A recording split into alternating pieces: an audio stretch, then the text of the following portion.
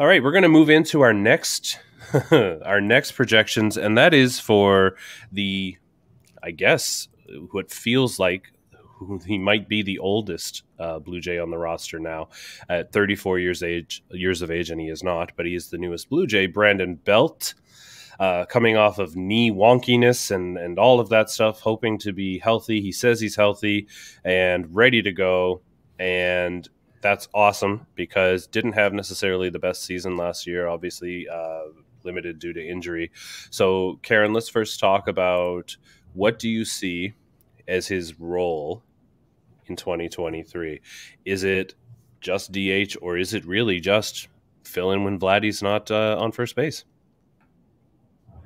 Um, I, mean, in his in his introductory press conference, he said the, that the Blue Jays told him that he would be spending a, a, good bit of time at DH, but that there could be times when he would fill in for Vlad at first base when, when he needs a day off of there or whatever. So yeah, I, I can see that being around 80% DH, 80 to 85% DH, and maybe 15% backup first baseman. Yeah, yeah. Um, Steve, a couple of things for you you we've had in this podcast we've had a lot of conversation about the need for that veteran leadership presence um, and i know you're a big proponent of that mm-hmm. so does brandon belt fit that given his um, massive extensive um, experience postseason experience in particular with the giants well he does fill the role of veteran leader um, i it doesn't mean that he's going to be productive I, I, think you have to draw the line there. I mean, I, you know, Brandon Belt needs regular at bats in order for him to excel. The years that he has had good numbers, he has had a significant amount of at bats. The years that he struggled with injuries, you know, he he has not, and and the and the power production and the average, it's not necessarily due to the injuries. It's just that he does not excel uh, if he's not getting regular at bats and does not get into a groove. So certainly in the locker room, certainly working with young guys, I'm, I'm sure that he's going to be a valuable asset for Vladdy uh, as far as you know improving, continue to improve his reads of balls off the bat over at first base, things like that. But I mean, I I know that I'm I'm in the minority here, but I really think Brandon Belt is a, a non-factor for the most part offensively. Interesting. So let's dive into that. Karen, when you look at um, Brandon Belt, it's difficult because over the last couple of seasons, um, he's only gotten into 97 games in 2021 and then 78 in 2022. So I want to look at his career marks here, Karen, just to, as a general place to start when you look at his on base percentage, his career on base percentage is 356. He's a career weighted runs created plus of 124. Let's go to his OPS. His career OPS is 814. So, Karen, how do I say that? Are you expecting that? Is that a would that be a pleasant surprise, or would that just be pretty much what you thought you were going to get from Brandon Belt? Um, that that's about what I've been projecting for him as as you know i mean i wrote about him. I've thought about it a fair bit. I've really looked at his stats up and down uh, as well as uh, let, us not forget his age because at some point father time catches up to all of us and, and whether the bat speed declines a little bit or whatever. I, I mean obviously every blue jays fan would love to see the brandon belt that there was in 2020 and 2021 I'm not expecting that. I think I would be getting my hopes up too high to say that. But I look at the numbers that you just say, his career averages, and, and I can see him doing something around those numbers. So, you know, split the difference between the amazing year he had in 2021 and the injury plagued year he had last year. And, and you're looking at about his career average. So, I'm hopeful that he can do that as well. Having, I, I mean, I see him honestly as the DH a majority of the time. I, I don't think they're going to do, I don't think they would have brought Brandon Belt onto this team if they weren't planning on utilizing him. So I think he's going to get a good number of at bats. And I think we'll see someone who's productive, hopefully, and, again, helping to round out that lineup the way they keep saying they want left handed hitters, they want left handed hitters work. Here, here's a left handed hitter who's been pretty good in his career.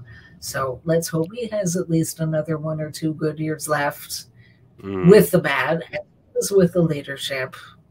Yeah, yeah. Let's hope he has a couple of good good years left. His knees. Those, those are the tires that I'm hoping don't blow out on him. Um, but Steve, yeah. Karen said somewhere between his 2021 and his 2022. So when I look at those, 2021, his OPS was 975.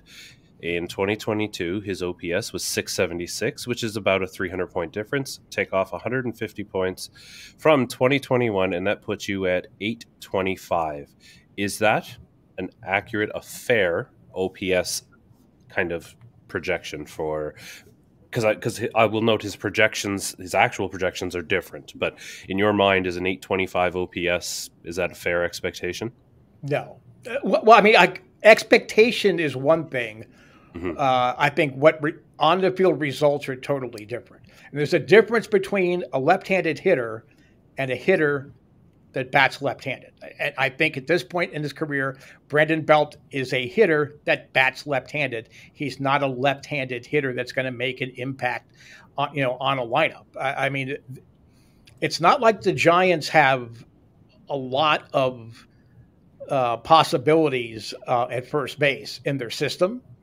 Uh, certainly, the guys they have down there have not really done well when they come, came up to the majors. So if they felt there was something left in the tank, I'm pretty sure that uh, Zaidi w- would have found a way to get Belt, you know, onto that roster, especially after it turned out they weren't going to get Aaron Judge, and after they were one of the 650 teams that did not sign Carlos Correa. So, uh, you know, I would think that. Um, again, I, I'm not as big on strict analytics, but there are guys that apply that information without going too crazy. And I think Zaidi and his staff do that in San Francisco. So that to me was another indication that Brandon Belt was was going to be an overpriced addition and he's not going to produce to that salary. All right. So that leads us to then the ultimate question.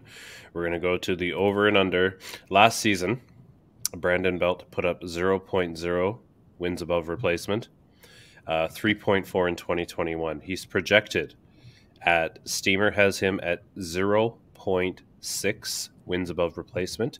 Karen, do you take the over or the under on his wins above replacement? Over. Like, come on.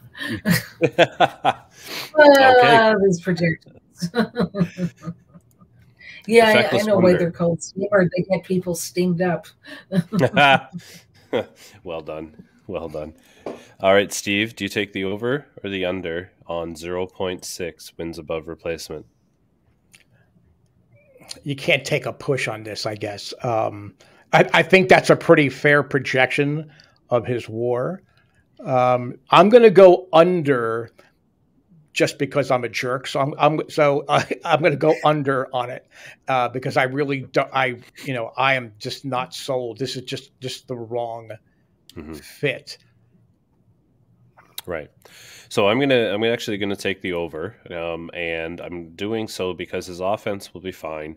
It's got uh, positive value there when he's used. That's not, but they have his defense is questionable, and I don't think he'll play that much defense for it to be um, that much of a, a factor. So that for that reason alone, the defensive numbers are hurting that that F war. So I'm going to go ahead and take the over on that, uh, and I'm also going to go ahead and remind everybody that the BetStamp app allows you to line shop for the best place and the best price to put your money down, and you can follow winning bettors, see what they're doing, increase your game all by downloading the BetStamp app at the App Store or Google Play and use the code JFTC when you do, and you can start betting like a pro.